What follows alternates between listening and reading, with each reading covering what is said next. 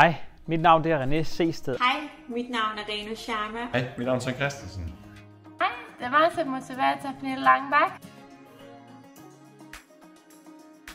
Jeg havde en masse erfaring og læring og viden omkring øh, mindset og mentalitet og succes og målsætninger osv. Så, så inden jeg begyndte på det her, der, der havde jeg en, en idé om, hvad det, hvad det handlede om, det her kursus her med, med Diamond Risk Club. Men livet efter, det har bare været anderledes. Jeg har bare lært en masse ting under det her kursus her. Det hjulpet mig rigtig meget øh, med, med fokus på at tænke anderledes, og hvordan jeg kunne sælge noget mere, sælge mine ydelser, have en bedre attitude og, og tænke anderledes, håndtere de udfordringer, der måtte være. Der var mange ting, der gjorde, at jeg ikke var i tvivl om, at jeg gerne ville have styr på, hvad jeg ville med mit liv. Og derfor tænkte jeg, at den bedste investering, jeg kunne gøre, var at give mig selv den her gave. Og det fortryder jeg vidderligt ikke et sekund i dag. Jeg er simpelthen så glad for, at jeg valgte at træffe den beslutning og investerede i mig selv og fik styr på mig selv. Fik styr på min egen negativ indre dialog, jeg har haft. Personligt har jeg kæmpet med vægt, og i år har jeg formået at tabe 15 kilo, hvilket er en kæmpe gave i sig selv. For et halvt års tid siden, der stod jeg og lærte som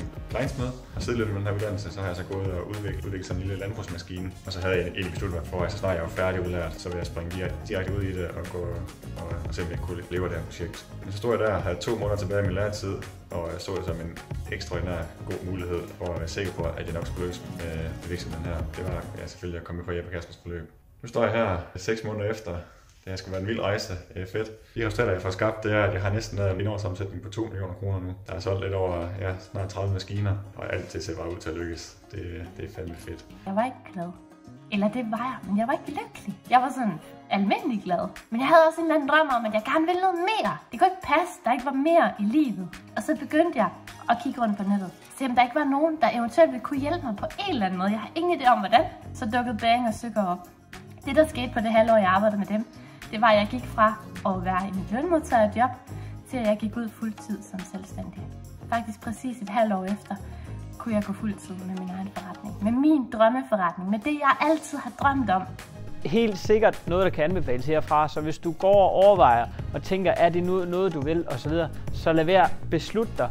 Lad være med at tænke over, om du skal, og så videre med pengene, og så videre. Det findes der en løsning på. Men beslut dig for, at det her det er vigtigt, og det her det er noget, du kan bruge til noget, fordi det er det 100%. Sidder du med en følelse af, om du skal starte på Diamond Rich Club forløbet, kan jeg seriøst kun varmt anbefale det. Man skal have den indre glæde, man skal have passion, man skal have begejstring og energi. Og det har jeg fået af at øh, være en del af Diamond Rich Club. Ja, jeg vil sige, førhen der havde jeg altid meget begrænsende tankegang. Fokuserede altid på, hvad skulle der lige til, for at jeg kunne leve det her? Hvad skulle der lige til, for at det kunne lykkes? Hvad skulle der lige til? Hvor det her det virkelig har ændret min tankemønster til, at jeg nu fokuserer på, hvad har jeg lyst til, at der skal skabes? Og finder egentlig ud af, at øh, det kræver ikke mere. Det kræver bare, eller lige bliver switchet om. Sidder du og overvejer det, så kan jeg kun anbefale dig, hvis du har lidt kriller nede i maven, så skal du gøre det. Og al den frygt, der end måtte være, jamen det er bare fordi, du er bange, og det er helt i orden, for det er jo et stort skridt. Men hvis ikke du tager det, så kommer der ikke til at ske noget.